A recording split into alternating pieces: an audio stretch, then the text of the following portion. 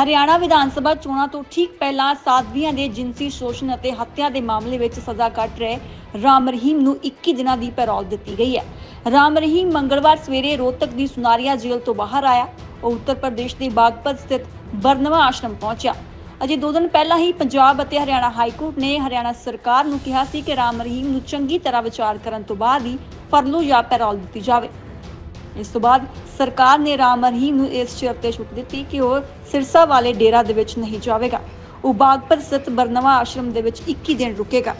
ਬਰਨਾਵਾ ਆਸ਼ਰਮ ਪਹੁੰਚਣ ਤੋਂ ਬਾਅਦ ਰਾਮ ਰਹੀਮ ਨੇ 23 ਸੈਕਿੰਡ ਦਾ ਇੱਕ ਵੀਡੀਓ ਜਾਰੀ ਕੀਤਾ ਹੈ। ਇਸ ਤੋਂ ਪਹਿਲਾਂ 10 ਅਗਸਤ ਨੂੰ ਹਾਈ ਕੋਰਟ ਨੇ ਸ਼੍ਰੋਮਣੀ ਗੁਰਦੁਆਰਾ ਪ੍ਰਬੰਧਕ ਕਮੇਟੀ ਦੀ ਉਸ ਪਟੀਸ਼ਨ ਨੂੰ ਰੱਦ ਕਰ ਦਿੱਤਾ ਸੀ, ਜਿਸ ਵਿੱਚ ਰਾਮ ਰਹੀਮ ਨੂੰ ਵਾਰ-ਵਾਰ ਪੈਰੋਲ ਜਾਂ ਫਰਲੋ ਦੇਣ ਤੇ ਸਵਾਲ ਚੁੱਕੇ ਗਏ ਸਨ।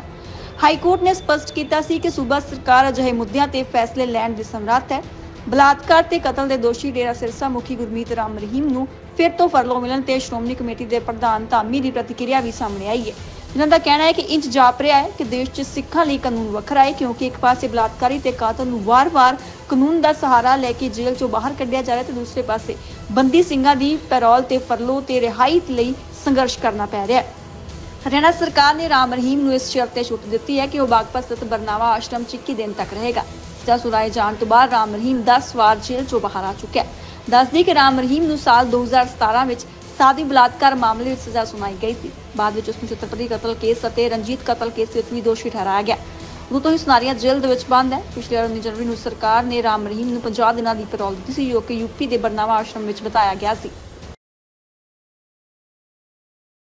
ਮੁੱਖ ਮੰਤਰੀ ਭਗਵੰਤ ਮਾਨ ਨੇ ਅੱਜ ਮਿਊਨਿਸਪਲ ਭਵਨ ਚੰਡੀਗੜ੍ਹ ਵਿਖੇ 417 ਨੌਜਵਾਨਾਂ ਨੂੰ ਨਿਯੁਕਤੀ ਪੱਤਰ ਵੰਡੇ ਨੇ। ਸੀਐਮ ਨੇ ਆਪਣੇ ਸੰਬੋਧਨ ਦੌਰਾਨ ਕਿਹਾ ਕਿ ਦੇਸ਼ ਨੂੰ ਆਜ਼ਾਦ ਹੋਏ 75 ਸਾਲ ਹੋ ਗਏ ਨੇ, ਪਰ ਅਜੇ ਤੱਕ ਦੇਸ਼ ਦਾ ਵਿਕਾਸ ਨਹੀਂ ਹੋ ਸਕਿਆ।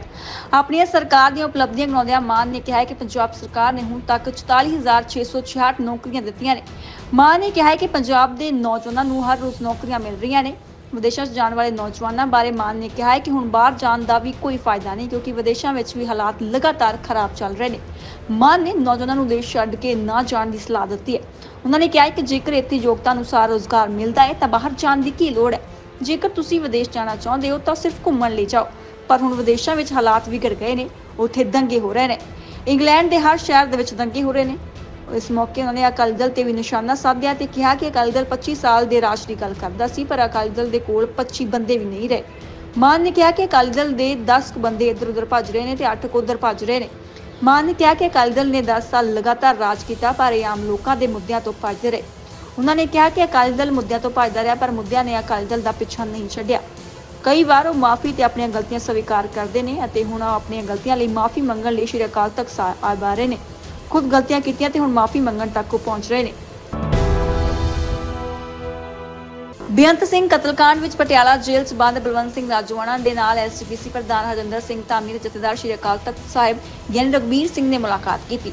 ਉਹ ਆਪਣੇ ਨਾਲ ਸ਼੍ਰੀ ਦਰਬਾਰ ਸਾਹਿਬ ਦਾ ਜਲ ਤੇ ਪ੍ਰਸ਼ਾਦ ਲੈ ਕੇ ਗਏ। ਸ਼੍ਰੋਮਣੀ ਕਮੇਟੀ ਦੇ ਪ੍ਰਧਾਨ ਹਰਜਿੰਦਰ ਸਿੰਘ ਧਾਮੀ ਨੇ ਇਸ ਮੁਲਾਕਾਤ ਨੂੰ ਪਰਿਵਾਰਕ ਦੱਸਿਆ, ਪਰ ਨਾਲ ਹੀ ਕੇਂਦਰੀ ਗ੍ਰਹਿ ਮੰਤਰੀ ਤੋਂ ਨਾਰਾਜ਼ਗੀ ਜ਼ਾਹਿਰ ਕਰਦੇ ਹੋਏ ਕਿਹਾ ਕਿ ਸਾਨੂੰ ਹੁਣ ਤੱਕ ਰਾਜਵਾਨਾ ਮਾਮਲੇ ਵਿੱਚ ਮਿਲਣ ਦਾ ਸਮਾਂ ਨਹੀਂ ਦਿੱਤਾ ਗਿਆ। ਉਹਨਾਂ ਇਲਜ਼ਾਮ ਲਗਾਇਆ ਕਿ ਰਾਮ ਰਹੀਮ ਨੂੰ ਇੱਕ ਵਾਰ ਮੁੜ ਤੋਂ ਫਰਲੋ ਦਿੱਤੀ ਗਈ ਹੈ ਤੇ ਇਸੇ ਲਈ ਕਿ ਵਿਧਾਨ ਸਭਾ ਵਿੱਚ ਚੋਣਾਂ ਹੋਣੀਆਂ ਨੇ। ਤੇ ਇਸ ਦਾ ਹੀ ਹੁਣ ਫਾਇਦਾ ਚੁੱਕਿਆ ਜਾ ਰਿਹਾ ਹੈ। ਹਰਿਆਣਾ ਸਰਕਾਰ ਨੇ ਰਾਮ ਰਹੀਮ ਦੇ ਲਈ ਕਾਨੂੰਨ ਵਿੱਚ ਵੀ ਬਦਲਾਅ ਕੀਤਾ ਹੈ। ਪਿਛਲੇ ਸਾਲ ਬਲਵੰਤ ਸਿੰਘ ਰਾਜਵਾਨਾ ਨੇ ਜੇਲ੍ਹ ਤੋਂ ਸ਼੍ਰੀ ਅਕਾਲ ਤਖਤ ਸਾਹਿਬ ਦੇ ਜਥੇਦਾਰ ਨੂੰ ਚਿੱਠੀ ਲਿਖ ਕੇ ਅਪੀਲ ਕੀਤੀ ਸੀ ਕਿ ਉਹਨਾਂ ਦੀ ਐਸਜੀਪੀਸੀ ਵੱਲੋਂ ਸੁਪਰੀਮ ਕੋਰਟ ਤੋਂ ਰਹਿਮ ਦੀ ਪਟੀਸ਼ਨ ਵਾਪਸ ਲਈ ਜਾਵੇ। ਉਹਨਾਂ ਨੇ ਗੰਭੀਰ ਸਵਾਲ ਚੁੱਕਦੇ ਹੋਏ ਕਿਹਾ ਸੀ ਕਿ ਦਹਾਕੇ ਬੀਤ ਜਾਣ ਦੇ ਬਾਵਜੂਦ ਐਸਜੀਪੀਸੀ ਨੇ ਕੋਈ ਟੁਕਵੀਂ ਕਾਰਵਾਈ ਨਹੀਂ ਕੀਤੀ। ਰਾਜਵਾਨਾ ਵੱਲੋਂ ਜੇਲ੍ਹ ਵਿੱਚ ਭੁੱਖ ਹੜਤਾਲ ਵੀ ਸ਼ੁਰੂ ਕਰਵਾਈ ਗਈ, ਪਰ ਸ਼੍ਰੀ ਅਕਾਲ ਤਖਤ ਸਾਹਿਬ ਜਥੇਦਾਰ ਸਾਹਿਬ ਦੇ ਭਰੋਸੇ ਤੋਂ ਬਾਅਦ ਰਾਜਵਾਨਾ ਨੇ ਭੁੱਖ ਹੜਤਾਲ ਖਤਮ ਕਰ ਦਿੱਤੀ। ਇਸ ਤੋਂ ਬਾਅਦ ਜਥੇਦਾਰ ਸਾਹਿਬ ਨੇ ਪੰਜ ਸਿੰਘ ਸਾਹਿਬਾਨਾਂ ਦੀ ਮੀਟਿੰਗ ਸੱਦ ਕੇ 31 ਦਸੰਬਰ 2023 ਤੱਕ ਕੇਂਦਰ ਸਰਕਾਰ ਨੂੰ ਰਾਜਵਾਨਾ ਤੇ ਫੈਸਲਾ ਲੈਣ ਦਾ ਅਲਟੀਮੇਟਮ ਦਿੱਤਾ ਸੀ, ਪਰ ਕੋਈ ਫਾਇਦਾ ਨਹੀਂ ਹੋਇਆ। ਇਸ ਵਾਰ ਅਲਟੀਮੇਟਮ ਦੀ ਤਾਰੀਖ ਵਧਾਈ ਗਈ ਅਤੇ ਐਸਜੀਪੀਸੀ ਦੇ ਪ੍ਰਧਾਨ ਦੀ ਪ੍ਰਧਾਨਗੀ ਅਧੀਨ ਇੱਕ ਕਮੇਟੀ ਦਾ ਗਠਨ ਵੀ ਕੀਤਾ ਗਿਆ, ਜੋ ਕੇਂਦਰ ਨਾਲ ਰਾਜਵਾਨਾ ਦੀ ਸਜ਼ਾ ਨੂੰ ਲੈ ਕੇ ਗੱਲਬਾਤ ਕਰੇਗੀ। ਇਸ ਕਮੇਟੀ ਵਿੱਚ ਦਿੱਲੀ ਕਮੇਟੀ ਦੇ ਪ੍ਰਧਾਨ ਹਰਮੀਤ ਸਿੰਘ ਕਾਲਕਾ ਰਾਜੋਣਾ ਦੀ ਭੈਣ ਬੀਬੀ ਕਮਲਦੀਪ ਕੌਰ, ਵਿਰਸਾ ਸਿੰਘ ਵਲਟੂਆ ਜੀ ਦੇ ਸੰਪਾਦਕ ਵਰਿੰਦਰ ਸਿੰਘ ਹਮਦਰਦ ਨੂੰ ਸ਼ਾਮਿਲ ਕੀਤਾ ਗਿਆ। ਕਮੇਟੀ ਨੇ ਮੀਟਿੰਗ ਤੋਂ ਬਾਅਦ ਕੇਂਦਰੀ ਗ੍ਰਹਿ ਮੰਤਰੀ ਕੋਲ ਮਿਲਣ ਦਾ ਸਮਾਂ ਮੰਗਿਆ ਸੀ, ਪਰ ਹੁਣ ਤੱਕ ਕੋਈ ਜਵਾਬ ਨਹੀਂ ਆਇਆ। ਬਲਵੰਤ ਸਿੰਘ ਰਾਜਵਾਨਾ ਵੱਲੋਂ ਆਪਣੀ ਪਟੀਸ਼ਨ ਵਾਪਸ ਲੈਣ ਦੀ ਮੰਗ ਤੇ ਸ਼੍ਰੀ ਅਕਾਲ ਤਖਤ ਸਾਹਿਬ ਦੇ ਵੱਲੋਂ ਗਠਿਤ ਕਮੇਟੀ ਦੇ 8 ਮਹੀਨੇ ਬੀਤ ਜਾਣ ਦੇ ਬਾਵਜੂਦ ਹੁਣ ਤੱਕ ਜਦੋਂ ਕੋਈ ਕਾਰਵਾਈ ਨਹੀਂ ਹੋਈ ਤਾਂ ਹੋ ਸਕਦਾ ਹੈ ਕਿ ਰਾਜਵਾਨਾ ਵੱਲੋਂ ਕਿਸੇ ਵੱਡੇ ਐਲਾਨ ਦੀ ਤਿਆਰੀ ਕੀਤੀ ਜਾ ਰਹੀ ਹੈ। ਇਸ ਲਈ ਜਥੇਦਾਰ ਸਾਹਿਬ ਤੇ ਐਸਜੀਪੀਸੀ ਪ੍ਰਧਾਨ ਵੱਲੋਂ ਮੁਲਾਕਾਤ ਦਾ ਫੈਸਲਾ ਲਿਆ ਗਿਆ ਹੋਵੇ। ਪੰਜਾਬ ਪੁਲਿਸ ਨੇ ਨਾਰਕੋਟਿਕਸ ਕੰਟਰੋਲ ਬਿਊਰੋ ਨਾਲ ਸਾਂਝੇ ਆਪਰੇਸ਼ਨ ਵਿੱਚ ਪੰਜਾਬ ਤੋਂ ਇੱਕ ਡਰੱਗ ਤਸਕਰ ਨੂੰ ਹਿਰਾਸਤ ਵਿੱਚ ਲੈ ਕੇ ਅਸਾਮ ਦੀ ਡਿਬਰੂਗੜ੍ਹ ਜੇਲ੍ਹ ਭੇਜ ਦਿੱਤਾ ਹੈ। ਪੁਲਿਸ ਨੇ ਇਸ ਤਸਕਰ ਦੇ ਖਿਲਾਫ ਐਨਡੀਪੀਐਸ ਦੇ ਤਹਿਤ ਗੈਰ ਕਾਨੂੰਨੀ ਤਸਕਰੀ ਦੀ ਰੋਕਥਾਮ ਦੀ ਧਾਰਾ 3-1 ਦੇ ਤਹਿਤ ਕਾਰਵਾਈ ਕੀਤੀ ਹੈ। ਸੂਬੇ ਵਿੱਚ ਇਹ ਪਹਿਲਾ ਮਾਮਲਾ ਜਦੋਂ ਕਿਸੇ ਨੂੰ ਐਨਡੀਪੀਐਸ ਦੀਆਂ ਧਾਰਾਵਾਂ ਤਹਿਤ ਹਿਰਾਸਤ ਵਿੱਚ ਲੈ ਕੇ ਕਿਸੇ ਹੋਰ ਸੂਬੇ ਦੀ ਜੇਲ੍ਹ ਵਿੱਚ ਤਬਦੀਲ ਕੀਤਾ ਗਿਆ ਹੋਵੇ। ਫੜੇ ਗਏ ਮੁਲਜ਼ਮ ਦੀ ਪਛਾਣ ਬਲਵਿੰਦਰ ਸਿੰਘ ਉਰਫ ਬਿੱਲਾ ਵਾਸੀ ਗੁਰਦਾਸਪੁਰ ਸ਼ਹਿਰੀ ਵਜੋਂ ਹੋਈ ਹੈ। ਬਿੱਲਾ ਖਿਲਾਫ ਐਨਡੀਪੀਐਸ ਐਕਟ ਤਹਿਤ 10 ਤੋਂ ਵੱਧ ਕੇਸ ਦਰਜ ਨੇ। ਫਿਲਹਾਲ ਉਹ ਜ਼ਮਾਨਤ ਤੇ ਬਾਹਰ ਸੀ। ਮੁਲਜ਼ਮ ਪਾਕਿਸਤਾਨੀ ਸਮਗਲਰਾਂ ਨਾਲ ਸਰਹੱਦ ਪਰੋਂ ਤਸਕਰੀ ਦੇ ਨੈਟਵਰਕ ਵਿੱਚ ਸ਼ਾਮਿਲ ਹੈ। ਪੰਜਾਬ ਵਿੱਚ ਇਹ ਦੂਸਰਾ ਮਾਮਲਾ ਹੈ, ਜਦੋਂ ਕਿਸੇ ਨੂੰ ਹਿਰਾਸਤ ਵਿੱਚ ਲੈ ਕੇ ਅਸਾਮ ਦੀ ਡਿਬਰੂਗੜ੍ਹ ਜੇਲ੍ਹ ਦੇ ਵਿੱਚ ਭੇਜਿਆ ਹੋਵੇ। ਇਸ ਤੋਂ ਪਹਿਲਾਂ ਅੰਮ੍ਰਿਤਸਰ ਦੇ ਪਿੰਡ ਜਲੂਖੜਾ ਤੋਂ ਅਮਰਪਾਲ ਸਿੰਘ ਅਤੇ ਹੋਰ ਜ਼ਿਲ੍ਹਿਆਂ ਦੇ ਨੌ ਸਾਥੀਆਂ ਨੂੰ ਕੌਮੀ ਸੁਰੱਖਿਆ ਐਕਟ ਦੀਆਂ ਧਾਰਾਵਾਂ ਤਹਿਤ ਡਿਬਰੂਗੜ੍ਹ ਜੇਲ੍ਹ ਦੇ ਵਿੱਚ ਭੇਜਿਆ ਗਿਆ ਸੀ। ਇਸ ਤੋਂ ਬਾਅਦ ਅਮਰਪਾਲ ਸਿੰਘ ਖਰੂਰ ਸਾਹਿਬ ਲੋਕ ਸਭਾ ਸੀਟ ਤੋਂ ਚੋਣ ਲੜੇ ਤੇ ਜਿੱਤੇ ਵੀ। ਉਹ ਇੱਕ ਸਾਲ ਤੋਂ ਵੱਧ ਸਮੇਂ ਤੋਂ ਡਿਬਰੂਗੜ੍ਹ ਜੇਲ੍ਹ ਵਿੱਚ ਬੰਦ ਨੇ। ਰਵਿੰਦਰ ਬਿਰਲਾ ਦੀ ਗੱਲ ਕਰੀ ਤਾਂ ਇੱਕ ਬਦਮਾਸ਼ ਤੇ ਪੁਰਾਣਾ ਨਸ਼ਾ ਤਸਕਰ ਹੈ, ਜਿਸ ਤੇ ਪਾਕਿਸਤਾਨ ਦੇ ਵਿੱਚ ਬੈਠੇ ਸਮਗਲਰਾਂ ਨਾਲ ਸਿੱਧੇ ਸੰਬੰਧ ਨੇ। ਅੰਮ੍ਰਿਤਸਰ ਐਸਟੀਐਫ ਅਤੇ ਮੋਹਾਲੀ ਪੁਲਿਸ ਨੇ ਵੀ ਉਸ ਨੂੰ ਵੱਖ-ਵੱਖ ਮਾਮਲਿਆਂ ਵਿੱਚ ਗ੍ਰਿਫਤਾਰ ਕੀਤਾ ਹੈ। ਪਰ ਜ਼ਮਾਨਤ ਤੇ ਰਿਹਾ ਹੋਣ ਤੋਂ ਬਾਅਦ ਵੀ ਉਹ ਫਿਰ ਤੋਂ ਤਸਕਰੀ ਵਿੱਚ ਸ਼ਾਮਿਲ ਹੋ ਜਾਂਦਾ ਹੈ। ਉਸ ਖਿਲਾਫ ਹੁਣ ਤੱਕ 10 ਕੇਸ ਦਰਜ ਨੇ ਤੇ ਵਧੇਰੇ ਮਾਮਲਿਆਂ ਵਿੱਚ ਉਸ ਕੋਲੋਂ 2 ਤੋਂ 3 ਕਿਲੋ ਹੈਰੋਇਨ ਬਰਾਮਦ ਹੋਈ ਹੈ। ਦਿੱਲੀ ਆਬਕਾਰੀ ਨੀਤੀ ਵਿੱਚ ਕਥਿਤ ਘੁਟਾਲੇ ਨਾਲ ਸੰਬੰਧਿਤ ਮਨੀ ਲਾਂਡਰਿੰਗ ਮਾਮਲੇ ਵਿੱਚ ਰਾਉਜ਼ ਐਵਨਿਊ ਕੋਰਟ ਨੇ ਦਿੱਲੀ ਦੇ ਮੁੱਖ ਮੰਤਰੀ ਅਰਵਿੰਦ ਕੇਜਰੀਵਾਲ ਤੇ ਬੀਆਰਐਸਐਸ ਆਗੂ ਨੇ ਕਵਿਤਾ ਦੀ ਨਿਆਇਕ ਰਾਸਤ 2 ਸਤੰਬਰ ਤੱਕ ਵਧਾਈ ਹੈ। ਦਿੱਲੀ ਦੇ ਮੁੱਖ ਮੰਤਰੀ ਅਰਵਿੰਦ ਕੇਜਰੀਵਾਲ ਵੀਡੀਓ ਕਾਨਫਰੰਸਿੰਗ ਰਾਹੀਂ ਕੋਰਟ ਵਿੱਚ ਪੇਸ਼ ਹੋਏ। ਹੁਣ ਰਾਉਜ਼ ਐਵਨਿਊ ਕੋਰਟ ਮੁੱਖ ਮਾਮਲੇ ਦੀ ਸੁਣਵਾਈ 2 ਸਤੰਬਰ ਨੂੰ ਕਰੇਗਾ। ਦਿੱਲੀ ਦੇ ਸੀਐਮ ਅਰਵਿੰਦ ਕੇਜਰੀਵਾਲ ਸਟਾਫ ਘੁਟਾਲੇ ਦੇ ਮਾਮਲੇ ਵਿੱਚ ਤਿਹਾੜ ਜੇਲ੍ਹ ਦੇ ਵਿੱਚ ਬੰਦ ਨੇ ਜਿਸ ਕਾਰਨ ਸੀਐਮ ਕੇਜਰੀਵਾਲ ਨੇ ਜ਼ਮਾਨਤ ਲਈ ਸੁਪਰੀਮ ਕੋਰਟ ਦਾ ਦਰਵਾਜ਼ਾ ਵੀ ਖੜਕਾਇਆ। ਜਿਸ ਬਾਅਦ ਉਹਨਾਂ ਸੁਪਰੀਮ ਕੋਰਟ ਨੇ ਕੇਜਰੀਵਾਲ ਦੇ ਕੇਸ ਦੀ ਜਲਦ ਸੁਣਵਾਈ ਕਰਨ ਲਈ ਹਾਮੀ ਭਰ ਦਿੱਤੀ ਹੈ। ਸੁਪਰੀਮ ਕੋਰਟ ਕੇਜਰੀਵਾਲ ਵੱਲੋਂ ਦਾਇਰ ਪਟੀਸ਼ਨ ਤੇ 20 ਅਗਸਤ ਨੂੰ ਸੁਣਵਾਈ ਕਰੇਗਾ। ਉਧਰ ਮੰਗਲਵਾਰ ਨੂੰ ਰਾਉਜ਼ ਐਵਨਿਊ ਕੋਰਟ ਨੇ ਕੇਜਰੀਵਾਲ ਅਤੇ ਬੀਆਰਐਸਐਸ ਆਗੂ ਕੇ ਕਵਿਤਾ ਦੀ ਨਿਆਇਕ ਹਿਰਾਸਤ 2 ਸਤੰਬਰ ਤੱਕ ਵਧਾ ਦਿੱਤੀ ਹੈ। ਕੇਜਰੀਵਾਲ ਨੇ 12 ਅਗਸਤ ਨੂੰ ਸੀਬੀਆਈ ਦੀ ਗ੍ਰਿਫਤਾਰੀ ਅਤੇ ਰਿਮਾਂਡ ਨੂੰ ਚੈਲੰਜ ਕੀਤਾ ਸੀ। ਇਸ ਦੀ ਪਟੀਸ਼ਨ ਵੀ ਦਾਇਰ ਕੀਤੀ ਸੀ। ਇਸ ਨਾਲ ਉਹਨਾਂ ਨੇ ਪਟੀਸ਼ਨ ਦਾਇਰ ਕਰਦੇ ਹੋਏ ਦਿੱਲੀ ਹਾਈ ਕੋਰਟ ਦੇ ਫੈਸਲੇ ਨੂੰ ਚੈਲੰਜ ਵੀ ਕੀਤਾ ਸੀ ਅਤੇ ਕੋਰਟ ਤੋਂ ਜਲਦ ਸੁਣਵਾਈ ਕਰਨ ਦੀ ਮੰਗ ਕੀਤੀ ਸੀ ਮੁੱਖ ਮੰਤਰੀ ਜਸਟਿਸ ਡੀਵਾਈ ਚੰਦਰਚੂੜ ਨੇ ਸੀਐਮ ਕੇਜਰੀਵਾਲ ਦੇ ਵਕੀਲ ਨੂੰ ਈਮੇਲ ਕਰਨ ਲਈ ਕਿਹਾ ਸੀ। ਕੇਜਰੀਵਾਲ ਦੇ ਵਕੀਲਾਂ ਅਭਿਸ਼ੇਕ ਮਨੂ ਸਿੰਘਵੀ ਅਤੇ ਸੀਯੂ ਸਿੰਘ ਨੇ ਸੀਬੀਆਈ ਵੱਲੋਂ ਗ੍ਰਿਫਤਾਰੀ ਦੇ ਰਿਮਾਂਡ ਨੂੰ ਸੁਪਰੀਮ ਕੋਰਟ ਵਿੱਚ ਚੁਣੌਤੀ ਦਿੰਦੇ ਹੋਏ ਕੇਸ ਦਾਇਰ ਕੀਤਾ ਸੀ।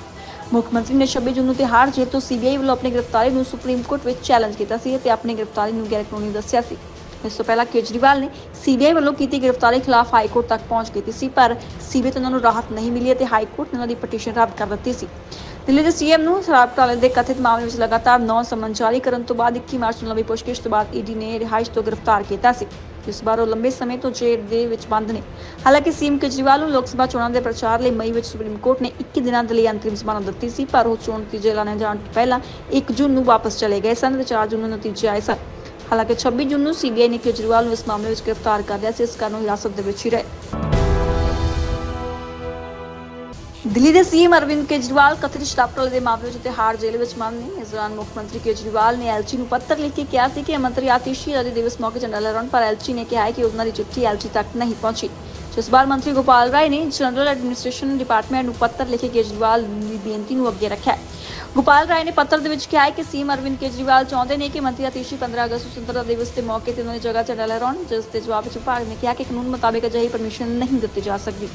ਇਹ ਵੀ ਕਿਹਾ ਗਿਆ ਹੈ ਕਿ ਸੀਐਮ ਕੇਜਰੀਵਾਲ ਦਾ ਜੇਲ੍ਹ ਤੋਂ ਇਸ ਤਰ੍ਹਾਂ ਦਾ ਗੱਲ ਕਰਨਾ ਵੀ ਜੇਲ੍ਹ ਨਿਯਮਾਂ ਦੇ ਖਿਲਾਫ ਹੈ, ਕਿਉਂਕਿ ਜੇਲ੍ਹ ਨਿਯਮਾਂ ਮੁਤਾਬਿਕ ਸਿਰਫ ਨਿੱਜੀ ਮਾਮਲਿਆਂ 'ਚ ਬਾਹਰ ਆਪਣੇ ਨੇੜਲਿਆਂ ਨੂੰ ਚਿੱਠੀਆਂ ਲਿਖੀਆਂ ਜਾ ਸਕਦੀਆਂ ਨੇ।